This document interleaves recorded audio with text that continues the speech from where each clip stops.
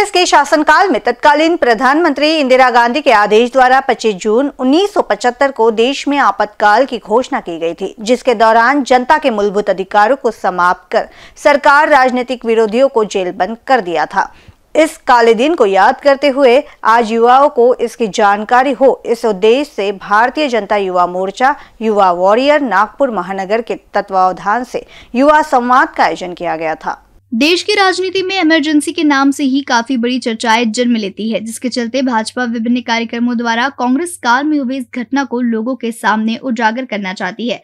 उसी उद्देश्य से सह संयोजक रितेश मनोज कुमार पांडे के नेतृत्व में युवा संवाद कार्यक्रम का आयोजन विजय भारत समाज भवन, कमाल चौक में किया गया। इस समय युवाओं को डॉक्यूमेंट्री भी दिखाई गई। साथ ही साथ, आपातकाल के समय हुए आंदोलन में प्रत्यक्ष तौर पर मौजूद निकंठ राव देवांगन आनंद राव ठवरे, अर्जुन कैकाड़े, मिठूलाल गरकाटे, भानुदास सात पैसे आदि के कार्य को याद किया गया।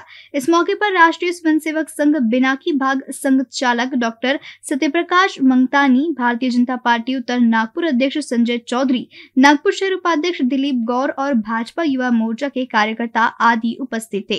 तो रितेश पांडे, सचिन बांकड़, शुभम हरोड़े, हचिन गिरवानी, ऋषभ दामले, आकाश गुप्ता, प्रज्वल मंगल, वैभव उपाध्याय, रोहित मुगारिया, शुभम जायसवाल, अंशुल घुसुरकर आदि ने विशेष सहयोग दिया।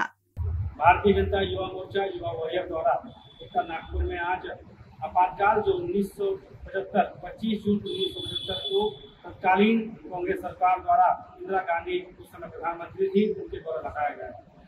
उस इक्कीस महीने के आपातकाल में क्या क्या घटा और कैसे उस परिस्थिति में उस समय के जनसंघ के कार्यकर्ताओं ने कार्य किया, उसको विस्तार पूर्वक समझने के लिए उस समय जो लोग कारावास में गए थे, उन सभी से समझने के लिए उनका सर्वप्रथम सत्कार किया गया। तत्पश्चात आज के युवाओं को उस समय की परिस्थिति से अवगत कराने के लिए यह कार्यक्रम रखा गया था।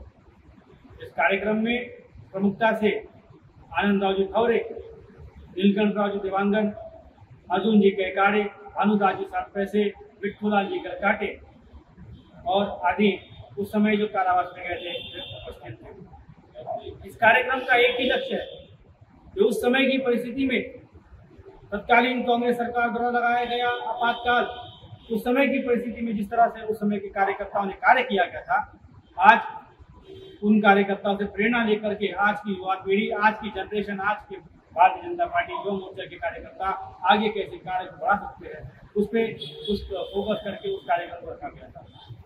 इसलिए आपके चैनल के माध्यम से मैं कहना चाहता हूँ कि उस समय जो उस समय जो आपातकाल लगाया गया था, वह काला दिवस आज भी हम मना रहे हैं। और आज विपक्षी दल यह कहते हैं कि मणिपुर चल रहा है। विपक्षी दल कह रहे हैं कि मणिपुर चल रहा है और मोदी जी विदेश घूम रहे हैं। मोदी जी का सम्मान कितना बड़ा वो तो बात का विषय है।